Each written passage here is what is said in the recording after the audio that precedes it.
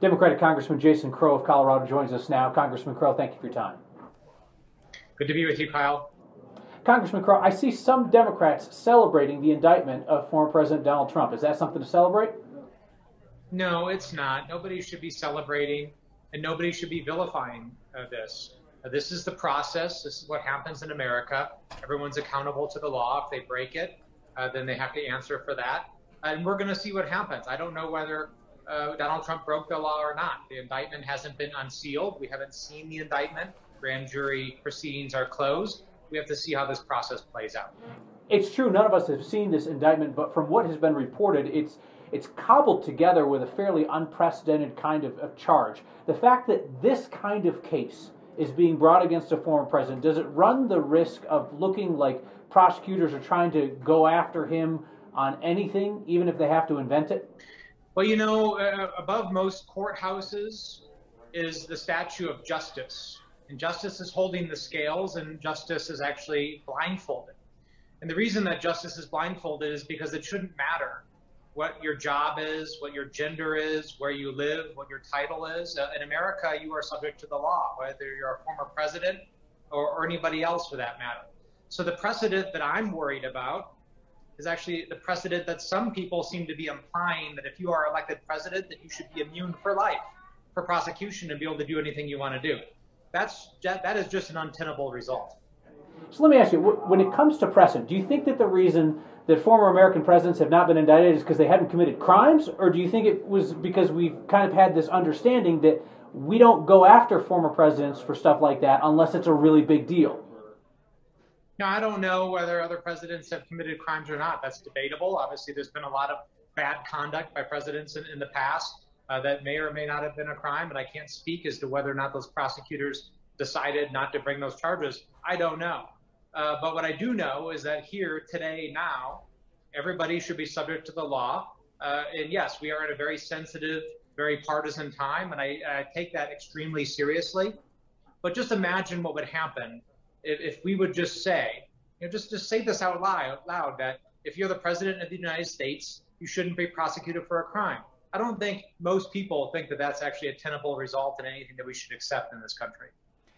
Given the Given really the... serious things that President Trump was accused of doing surrounding January 6th, the kind of conduct that some people said imperiled American democracy itself, does it feel awful small that what prosecutors have ended up with is going after him for covering up a, a payment to a porn star? Porn star. Well, the, whether it's a hush money payment for, to a porn star for infidelity, whether it's a violation of the Impoundment Control Act, which was the basis for the first impeachment trial that I prosecuted, and I firmly believed he violated that law, and that was a high crime uh, or misdemeanor that justified his removal because that also went to the core of our national security. And let's not forget that was about providing uh, lethal aid to Ukraine to put them in a position to resist a Russian invasion. That's what that impeachment was about. Whether it's about him telling the Secretary of State of Georgia to, you know, find 10,000 votes that don't exist so he can win the election uh, or whether it's tax fraud. I know there's been a lot of allegations, uh, some of which I firmly believe, like the Impoundment Control Act violation that he did commit. That's why I prosecuted that case. Uh, the other ones, we're going to have to see how it plays out. For all of the Republican protestations about the idea that prosecutions are now being politicized, of course, a, a foundational idea of the Trump era were, were, threats to imprison his political opponents for this or that. It, it, was literally a chant at his rallies. Do you think the fact that now he is on the receiving end of an indictment makes it more likely that his allies somewhere else in America, some conservative prosecutor somewhere, is going to bring a spurious case against a Democrat?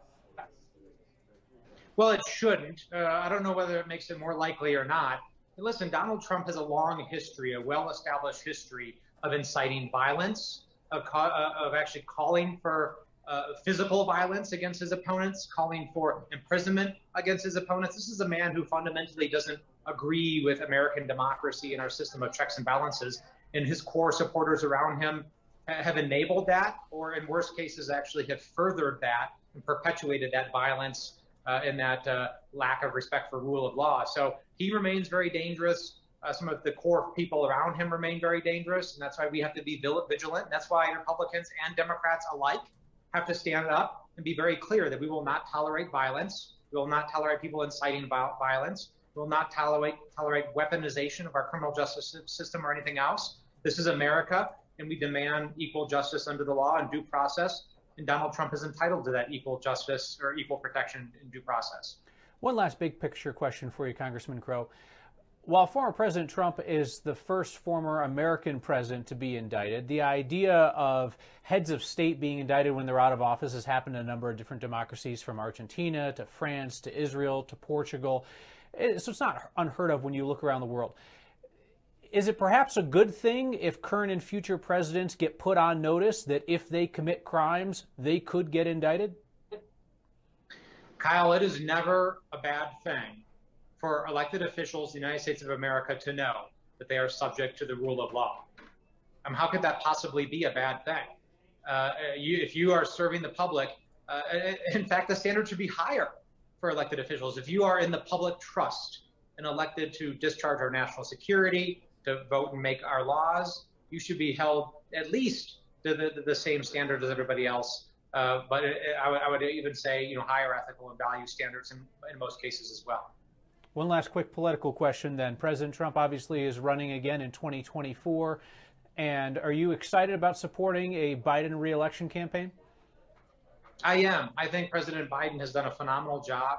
Uh, the last Congress was actually one of the most legislatively successful Congresses in American history.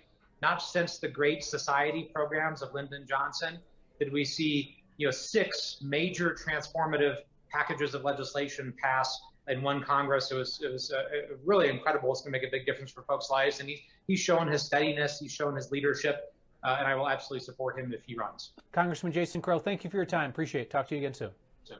Yeah, thanks, Kyle.